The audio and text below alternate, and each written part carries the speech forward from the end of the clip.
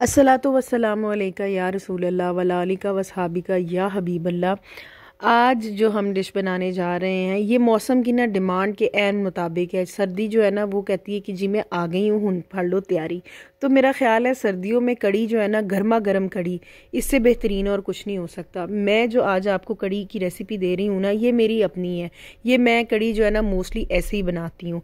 इसमें होगा जी चिकन पकौड़ा और इसके साथ साथ आपको कुछ वेजेस मिलेंगी। आप कहेंगे जी वेजेस तो पकौड़ों के अंदर होती हैं सब्ज़ियाँ लेकिन पकौड़े जो है ना वो हमारे थोड़े से प्लेन होंगे और वेजिस इसके अंदर हम थोड़ी सी डालेंगे गोभी। थोड़े से मटर थोड़ी सी इसके अंदर गाजर है। और भी अगर कोई बीन्स वगैरह आप डालना चाहे तो आप डाल सकते हैं।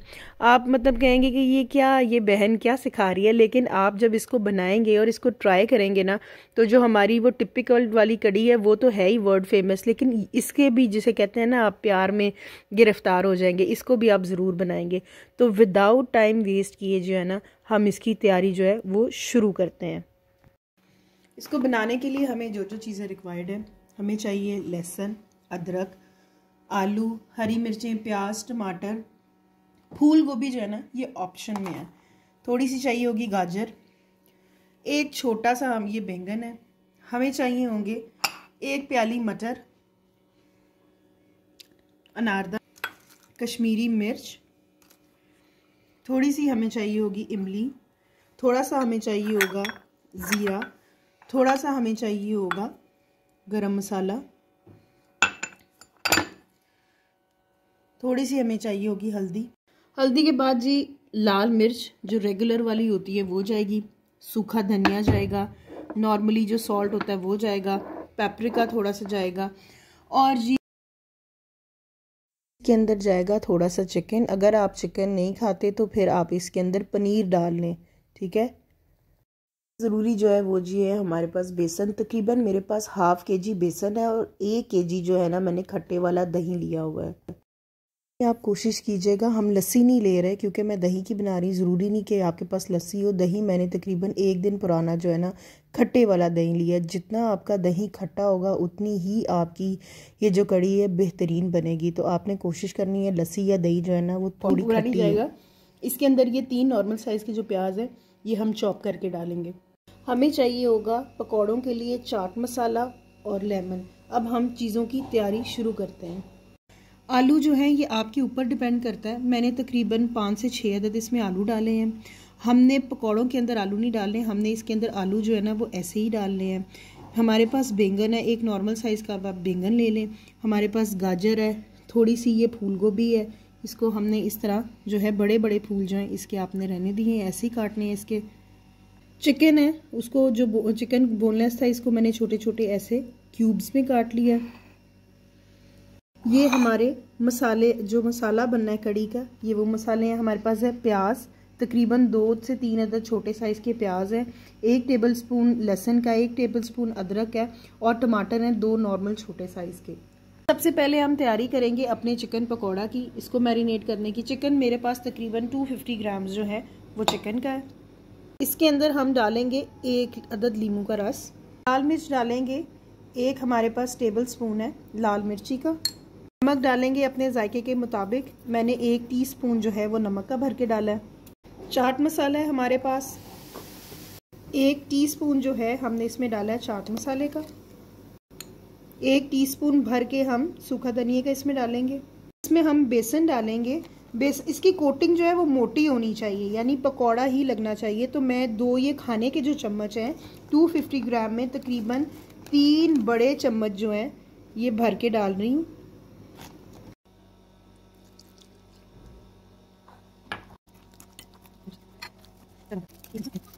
अब बारी है जी नॉर्मल पकौड़े बनाने की, क्योंकि इसके अंदर सिर्फ़ प्याज है, हरी मिर्च है और धनिया। पकौड़ों का जो बैटर है, वो आप अपनी मर्ज़ी से बनाएँ। मैं तो इसके अंदर तीन बड़े टेबल खाने के जो चम्मच होते हैं, जिससे खाना सर्व करते हैं, वो डाल रही हूँ।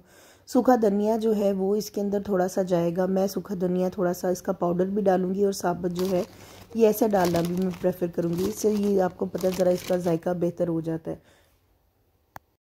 की बात ये पकौड़ों के लिए ना मैं आपको एग्जैक्ट बेसन जो है ना वो नहीं बता पा रही क्योंकि हम तो पकौड़े बनाते बनाते ना, खुद कड़ी बनाते बनाते इतने पकौड़े खा लेते हैं तो आपने जो है ना बेसन वो अपनी मर्ज़ी से ना खुद ही एडजस्ट कर लीजिएगा कि आपको कितने पकौड़े चाहिए। अंडा जो है ना, मैंने इसके लिए, इसके अंदर इसलिए डाला कि अंडे से जो है ना, ये बहुत ज़्यादा फूलेंगे और अच्छे बनेंगे। बेकिंग सोडा अगर आपके पास ना हो या मीठा सोडा अगर आपके पास नहीं भी है तो आप अगर इसके अंदर अंडा डाल लेते हैं तो ये वैसे भी बहुत ज़्यादा फूल जाएँगे और बड़े अच्छे नरम और फ्लफ़ी से बन जाएँगे। अच्छा जी, इसके बाद जी इसके अंदर हमने डाला है जी अनारदाना। मैंने तकरीबन एक टेबल स्पून डाला। है आपको नहीं पसंद तो ना डालिएगा, मुझे पसंद है, मैं डालती हूँ। नमक मैंने एक टेबल स्पून इसके अंदर ये डाल दिया है। चाट मसाला मैंने एक टेबल स्पून डाला है। सूखा धनिया मैंने एक टेबल स्पून वो डाला है। लाल मिर्च जो है, वो भी एक टेबल स्पून आप डाल लें। दादर लाल मिर्च हो तो वो भी डाल लें। वो भी जो है ना, इसका फ्लेवर को बड़ा इन्हांस करती है। इसको आप मिक्स करके रख लें। थोड़ा सा आप इसमें जो है, वो ज़ीरा भी डाल और ये जी, हो गया हमारा, इसका बैटर तैयार हो गया। अब बैंगनों की तरफ़ आते हैं। बैंगन बिल्कुल सिंपल से हैं। इसमें आपने सूखा धनिया डालना है, नमक डालनी है, लाल मिर्च डालनी है, आपने इसके अंदर चाट मसाला डालना है, बेसन जो है उसको डालना है और फिर बाद में इनको हम कर लेंगे फ्राई। अरे आ गई है जी इसका कड़ी का जो बैटर होता है वो बनाने की सबसे पहले जो इसका ये जो मिक्सचर है जो बैटर है, हम इस तरह बनाएँगे कि एक के जी मेरे पास खट्टे वाला दही था, ठीक है, और मेरे पास हाफ़ के जी जो है, वो है बेसन हाफ़ के जी का जो एक पैकेट है, उसमें से भी मैंने हाफ़ से थोड़ा सा कम जो है ना इसके बैटर में डाला है। और साथ में मैंने तकरीबन दो से ढाई गिलास डाले हैं पानी के। वो जो मदानी होती है ना, इससे आपने इसको अच्छे से जो है ना, इसको आपने मिक्स कर लेना कि ताकि कोई भी बेसन की जो गुटली है ना, इसके अंदर बिल्कुल ना रहे। अब बारी आ गई है जी इसका मसाला बनाने की। हम मसाले में बहुत ही नॉर्मल सा ऑयल डालेंगे खाना बनाने के लिए। एक नॉर्मली बड़ा जो है ये मैंने चम्मच जो है ऑयल का डाला है। प्याज डालेंगे। देखिए जी, हर बंदे का जो है ना खाना बनाने का एक अपना ही स्टाइल है। हमारा अपना तरीका है, आपको पसंद नहीं आता, ये आता है, जो भी है, मैं कुछ इसी तरीके से ये खाना बनाती हूँ। प्याज हमारा हो गया पिंक। एक टेबल स्पून लहसुन और एक ही टेबल स्पून अदरक का डालेंगे। लहसुन अदरक जैसे ही हमारे पिंक हो गए, हमारे पास जो टमाटर थे, ये भी इसके अंदर डाल देंगे। मसाला जैसे ही हमारा थोड़ा सा भुना गया, इसके अंदर मैं दो टीस्पून जो है लाल मिर्च के डाल रही हूँ। दो टीस्पून ही नमक के डाल रही हूँ। एक टीस्पून भर के हल्दी का डाल रही हूँ। हल्दी का एक टेबल स्पून भर के डालें रंग प्यारा आएगा इसका। देखें कितना खूबसूरत भुना गया है।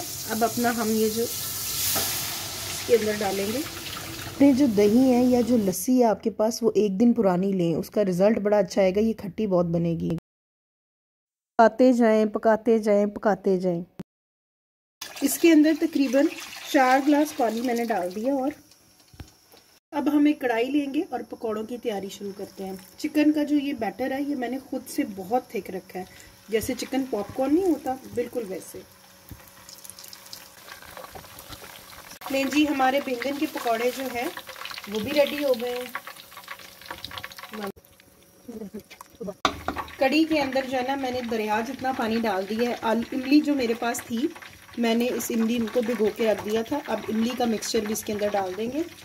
कड़ी के अंदर हम चम्मच मारते रहेंगे। एक टीस्पून जो है गरम मसाले का वो भी पकती हुई कड़ी के अंदर हमने डाल देना। अदर लाल मिर्च भी जो है थोड़ी सी वो भी सूखा धनिया का पाउडर जो है वो भी इसके अंदर डाल देंगे। जैसे जैसे कड़ी पकती जाए आप एक एक दो दो ग्लास इसमें पानी ऐड करते जाएँगे। ये बेहतरीन तरीका है एक बहुत ही अच्छी कड़ी बनाने के लिए। इसको पकने दें पकने दें तकरीबन आपने एक घंटा जो है ना इसी तरह जैसे ये थोड़ी सी थिक हो इसके अंदर पानी डाल दें। आपने इसी प्रोसेस से जो कड़ी है वो आपने बनाते जाना है। जब आपको लगे कि कड़ी आपकी गाढ़ी हो गई है, इसकी वो जो कच्चापन है वो ख़त्म हो गया। आलू डालेंगे इसके अंदर सबसे पहले। दूसरी तरफ़ पकौड़े भी हमारे हो रहे हैं। के अंदर आलू हमने डाल दिए हैं। दो बड़े टेबल स्पून जो है ना, मैंने विनेगर के भी डाले हैं विनेगर के, क्योंकि मुझे बहुत ज़्यादा जो है ना, ये खट्टी नहीं लग रही थी। कंसिस्टेंसी आप चेक करें।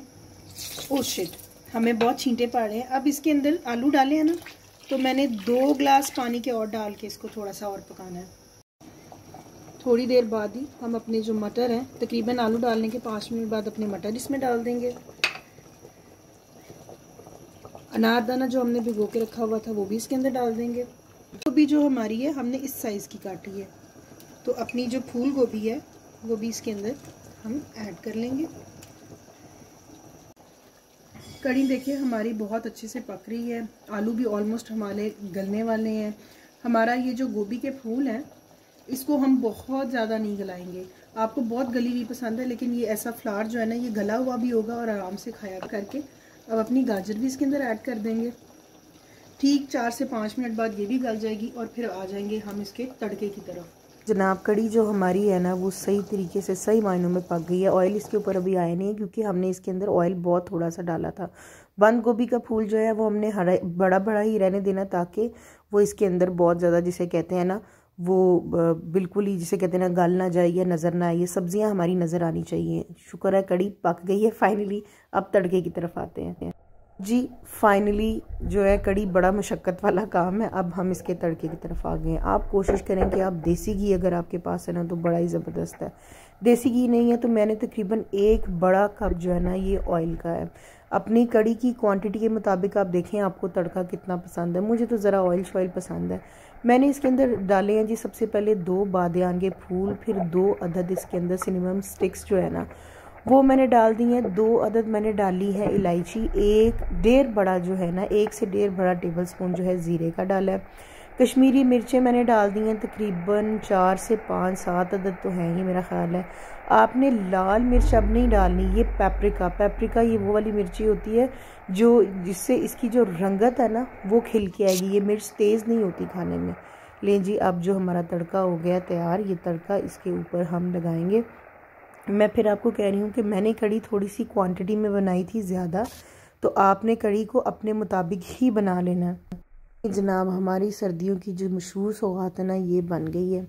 हमारा चिकन पकौड़ा वेज कड़ी जो है, वो हो गई है तैयार।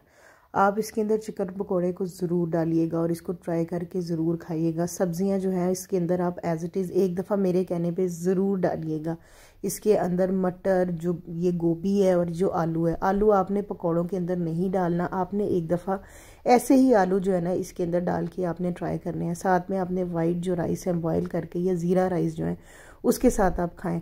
आप इसको एक दफ़ा मेरे कहने पे एज इट इज़ ट्राई तो करें। चिकन पकौड़ा और ये सब्ज़ियाँ आप जब मिक्स करके खाएँगी ना तो आप यकीन करें कि मेरे मुँह में जो है ना अभी फिर पानी आ रहा है, हालाँकि इसको मैं खा चुकी हूँ। पहले ही ऑलरेडी हमारे चैनल को करें लाइक शेयर सब्सक्राइब आपको ये डिश पसंद आती है या नहीं भी आती, मुझे कमेंट सेक्शन में ज़रूर बताइएगा। चैनल को बहुत लाइक करें, दुआओं में बहुत ज़्यादा याद